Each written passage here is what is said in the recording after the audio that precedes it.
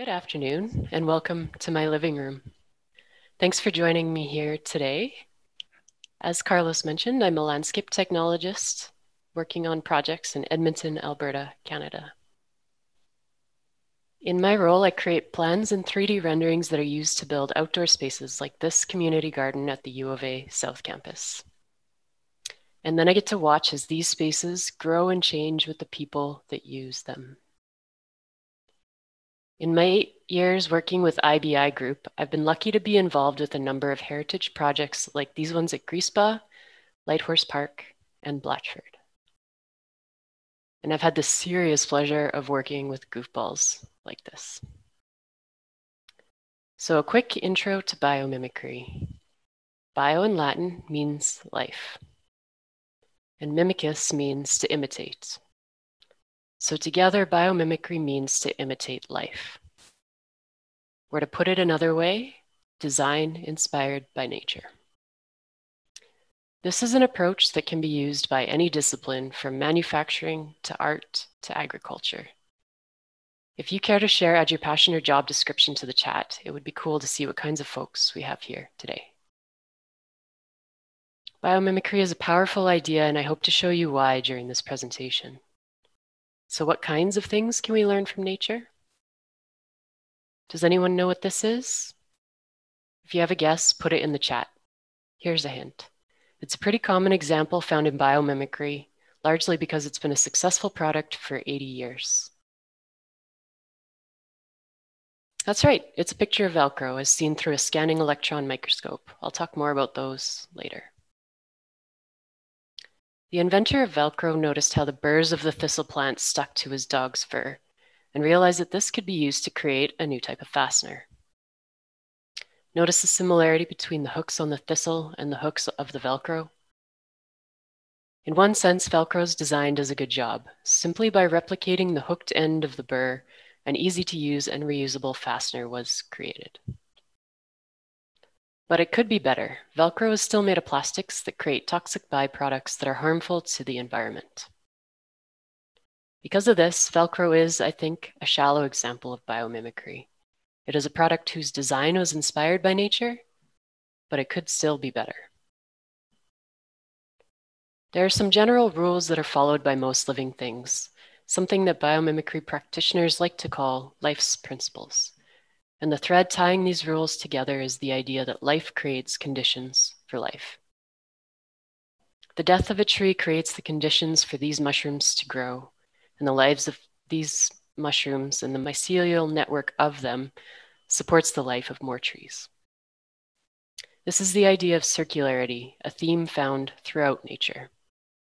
Like compound interest that can generate big payoffs over time, these systems feed back into each other, compounding resources and energy. And so it is with man made systems as well. If we take care of the earth and help life to flourish, that care will be returned to us in productive land, fresh air, a diversity of food, and healthy places for people. If we harm the living systems that support us, the earth will become harmful to us as well. So, how can human activity support life on Earth rather than harming it?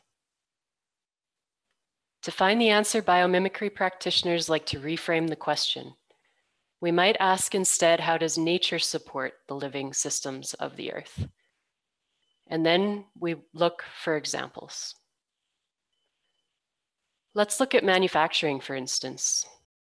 The old linear model focuses on short term consumption but I'm sure that we can all agree that we don't want any more landfills. The circular economy is a biomimicry concept that focuses on these three ideas. Designs that minimize or eliminate waste and pollution, keeping products and materials in use for as long as possible, and regenerating natural systems. That kind of sounds like the tree and the mushroom, right? Reduce, reuse, and recycle are built into this circular economy approach with the important added element of good design that facilitates all of these steps. So how can our waste be used to build capital? This is a pretty straightforward thing for objects like paper where we can recycle or compost the materials. Improving our recycling systems will ensure that we can squeeze even more out of these resources. But what about phones, appliances, and other technical products? These goods have valuable parts and materials in them that we would ideally use over and over again. The analogy to natural systems here is how ecosystems cycle minerals and nutrients like nitrogen and phosphorus. Nutrients are not destroyed when they are used. They are temporarily captured in living systems, returned to the environment when the organism dies. These components are then broken down and used again. Here's a diagram of the energy and material flows in a circular economy model. Notice the cyclical nature of the process and how it is similar to the nitrogen cycle on the previous slide. At the top, we see the initial inputs, which should ultimately get caught up in the loops and stay within the system. This approach makes technical products valuable at the end of their lives as well, changing them from a liability into an asset. In many cases, it is cheaper to harvest the old product and reuse its parts rather than to harvest and process raw materials.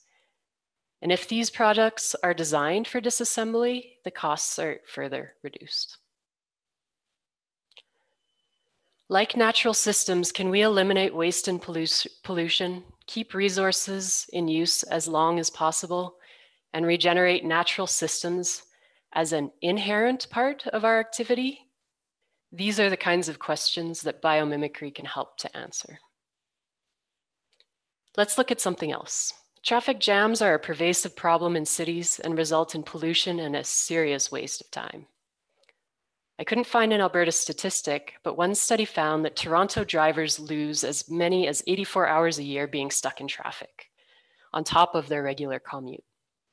This is not only wasted time, but also results in more stress for drivers and pedestrians and higher emissions. A good source of inspiration might actually come from these guys. Ants move an incredible amount of material around, but are never stuck in traffic. When only a few dudes are crawling around, they space themselves out and act individually, the same thing that we do when roads are quiet. The difference appears when it is crowded. Ants become more like a single entity that just keeps flowing. So, why do people get stuck in traffic? This happens because we are each thinking of our own needs and do not adjust our driving for the good of the whole. If an ant gets stuck behind a slowpoke, they fall in line and match speeds. People, on the other hand, will honk horns, switch lanes, and make impulsive changes, which creates confusion and can bring everything to a screeching halt. Droids and self-driving cars of the future may be able to follow simple rules like the ants do, bypassing our individual egos. For those of you new to the topic of biomimicry, I've created a resource page with some good places to start if you want to learn more. There are lots of well-known biomimicry success stories that are covered by other presentations and TED Talks, some of which are included in that document. I will just hint at these very briefly before I get into the good stuff today. In the 1970s, forest floors inspired the carpet tile, a move away from large rolls of carpet used in the past. Now modular pieces significantly reduce the wasted cut, cuts from the rolls and make it easy to replace carpet in small areas. The bumpy structure on the leading edge of the whale fin has been added to the design of wind turbines, improving the efficiency over conventional turbines by as much as 20%. And structural color, which is the creation of color using tiny structures that interact with light, is inspiring new materials that shine like butterfly wings without the use of toxic pigments. Each of these has a sustainability win and these are only a few of the many biomimicry success stories that you can find more about online. Now that you have a few examples, I'd like to introduce the topic of life-friendly chemistry. I believe that understanding this, even at a basic level, could have a paradigm shifting impact on the sustainability of human systems. The idea here is that chemicals and chemical combinations used in nature are life friendly. Now, I'm not a chemist, but I find this to be a good illustration of one of the key differences between natural and man-made products. Here is the periodic table of elements, highlighting those elements used in natural systems.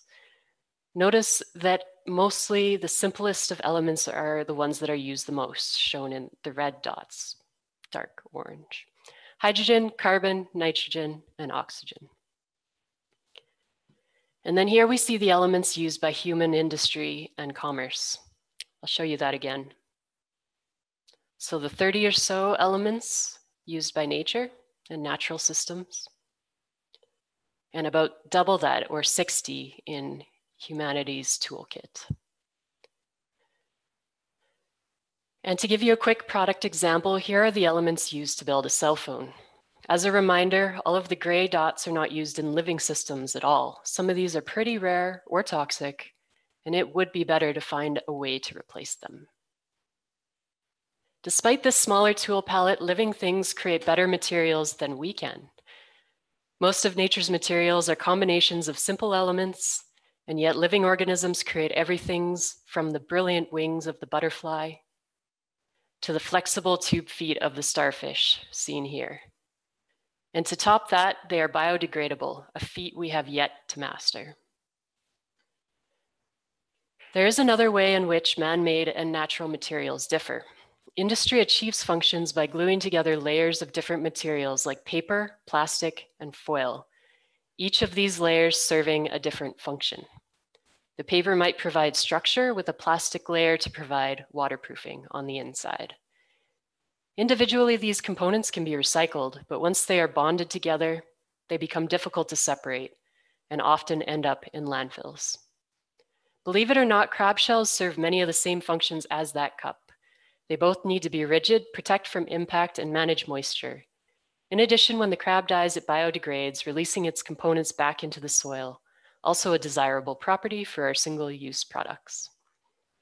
Rather than using layered and glued materials, nature uses a complex structure to achieve many functions at once. And biomimicry asks if, we can figure out how the crab creates this structure so that we may replicate the solution. Chitin is the structural building material of arthropods like this crab. It is made of fibers that are bundled together, as you can see on the bottom right. And with each layer of the shell, which is sort of the zoom out uh, closer to the top, these bundles of fibers are rotated slightly from the layer below. This hierarchical structure of fibers is what creates the desirable properties of the crab shell. As the thickness, diameter, and orientation of the fibers change, this changes the properties, some combinations providing rigidity, others providing waterproofing or something else. And here are some of the common structures found in biology. Learning about these structures can help us make better materials with a wider range of products, uh, with a wider range of properties. The fibrous and helical structures of the crab shell are included here, and are patterns that can be seen in the structure of many other living things. Okay, my first test was too easy. Does anyone know what this is? A few good guesses here. Would you believe that that's a fruit fly egg? Also a tongue twister. The image was taken by a scanning electron microscope that sees things at a very tiny scale. Electron microscopes detect structure, not color, which is why these images are typically seen in black and white. Working with artists can add another layer of information to these scientific diagrams using color to enhance different parts of the scan.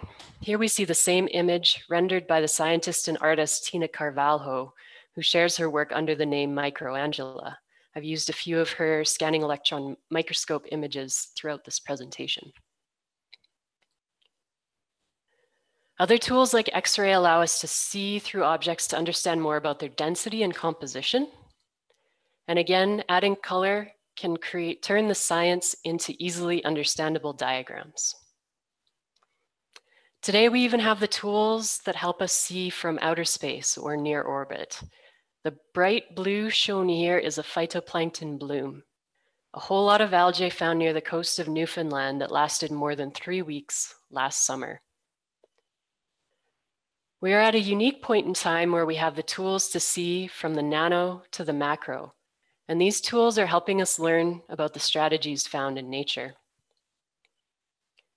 At the same time, 3D printing and other additive manufacturing processes are giving us new ways to emulate the structures and materials of the living world and to engage with all kinds of people. If you're not familiar with 3D printing, it is a process that allows us to build up objects one layer at a time using materials such as plastics, ceramics, glass, or metal. One of the benefits of additive manufacturing is that it can seriously cut down on waste in the case of the lattice we see here, if we use traditional manufacturing processes, as much as 50% of the material would be lost just cutting out the holes. Remember this guy? Biomimicry and 3D printing are a really good fit for each other. Biologists and other scientists are learning how nature achieves these superior materials and 3D printing allows us to replicate them. Cement is a brittle material, but researchers have been able to make it stronger by studying arthropod shells like the crab. They didn't change the chemistry to achieve this feat, they changed the structure. Like the crab shell, here they are printing long fibers, rotated slightly with each layer. Cracks that form in the material follow this twisted pattern and break sacrificial links without weakening the rest of the structure. This turns concrete's weakness, how brittle it is, into a strength. Right now, the researchers are only emulating the orientation changes of the fiber. Can we also learn about the bundled nature of those fibers and replicate this in our 3D printing technology? Maybe a new print head or type of filament would make this possible. Of course, we could look at how the crab shell does it, but one of the superpowers of biomimicry is the ability to combine strategies from different organisms.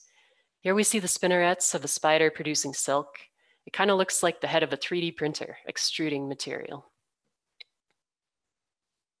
Within each spinneret are a number of spigots, which you can see on the right, that release a liquid that solidifies and combines to create the silk.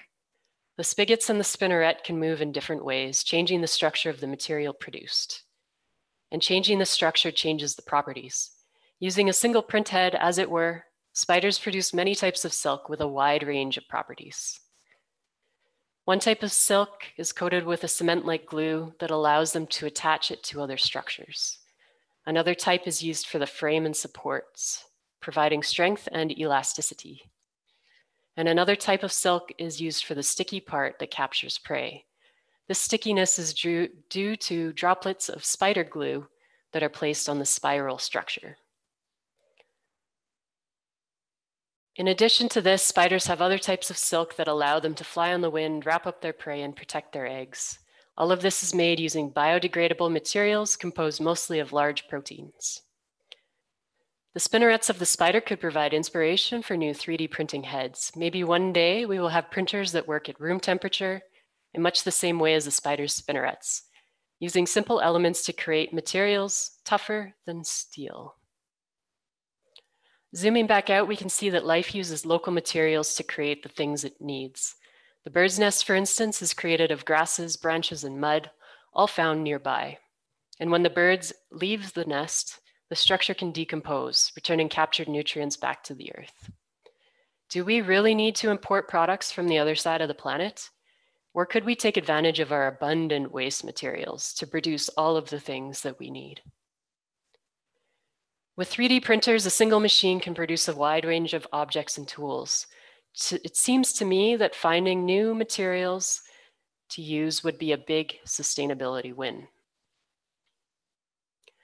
Materiom is an open source library of recipes for making new materials from biomass with the aim of supporting regenerative circular economies like those that I talked about at the beginning. Here are two recipes that use biomass for 3D printing. As our knowledge of these materials grows, different regions could have their own niches, Landlocked cities like Edmonton might focus on using our agricultural wastes or abundant clay to create new kinds of materials, whereas coastal cities might take advantage of waste from the seafood industry. And like nature, can we find simple ways to break these materials down so that we can use them over and over and over again? I hope that I've convinced you that the answer to this question is yes. So what do you do if you want to learn more? Well, you can connect with us to start. Biomimicry Alberta is the local group here and includes scientists, biologists, and practitioners who are interested in learning from nature. You can sign up for our newsletter on our website, or you can connect to us through Facebook, Instagram, Twitter, and LinkedIn under the name Biomimicry Alberta or Biomimicry AB to hear about upcoming events. There's also Zygote Quarterly, a publication out of Calgary that was started by one of our local superstars, Marjan Eggermont. This magazine is available free online and showcases biomimicry research and innovation and has received international recognition. If you want to connect with us or check out some cool biomimicry resources or example, or if you missed most of this presentation because you're still logging in, you can uh, download this PDF that I prepped for you guys to use as a future reference, which includes links to a number of resources. My email address is included in the document. Feel free to reach out if you are interested in connecting. I know that things are weird right now, but public parks, parks are open and some zoos and greenhouses are letting in small numbers of people. Failing that, anyone can attend virtual tours, which are being offered from venues around the world. Nature documentaries are also great and can allow you to explore alien landscapes from the comfort of home. And there are lots of online presentations and TED Talks that explore the topic in detail.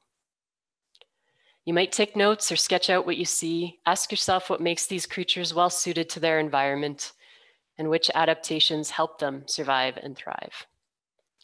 If you work in an engineering or design field, look for organisms that are solving the problems you want to solve and see what you can learn from them. And if you own a company or invest in research and products, look for change makers who know how to recognize and uncover nature-inspired solutions. Sponsor events like these ones or hire biomimicry professionals who can work with your design team to improve your products and services. Above all, we need to protect the organisms that provide this knowledge. Without them, our lives are less, and their adaptive strategies may be lost to us forever. Life creates conditions for life, and people can too. Finally, I know it's cold outside for lots of us right now, but get out there anyways. There are lots of adaptive strategies that can be learned even in the darkest and coldest months. This period of isolation resulting from COVID 19 is an opportunity to reimagine economies around the world. And with this reset, we can bring in new understandings and ideas, aligning human activity with the living networks that support us. So that concludes my presentation. Thank you for your interest and attention.